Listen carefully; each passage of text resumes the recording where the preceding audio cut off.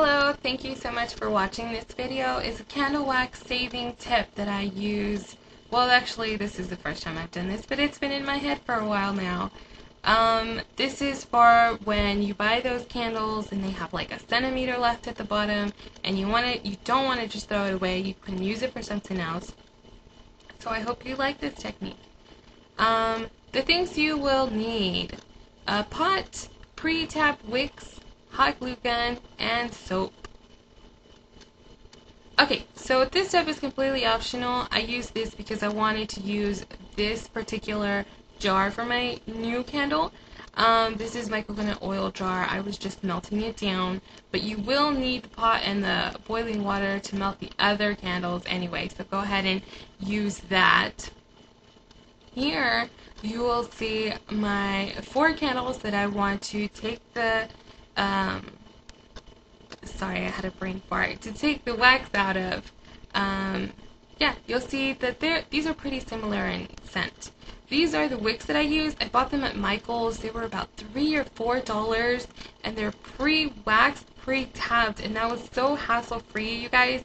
Because if not, you want you have to buy like the string of the wick, and you have to make a knot in the tab and everything. Just use these. These are so good. Um, here you'll see the pre-tabbed already done, um, and these are already, like I said, pre-waxed, so they will stay straight up. And here's what you need the glue gun for. Just add some glue gun at the bottom, throw that in there, and it shall stay. Here is the one of the candles already melting in the pot. Uh, this took me about five minutes per candle.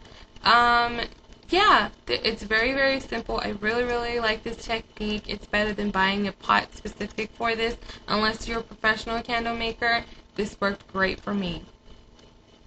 And then here is after I already poured the wax into the candle or into the jar that I'm using. Um, you can see that the, the wick stays straight up. I'm not even holding it in or anything. Here is after three candles I've done. Like I said, I did use candles that are really close in scent so they mesh well when you're burning them. Uh, this is the jar that I'm cleaning afterwards. I just use some soap and water. After it's boiling hot, it's really, really fast to get everything off. Um, if you're having problems, just use some nail polish remover around the sticky parts at the bottom or where the sticker was. That'll get them right off, you guys, I promise you.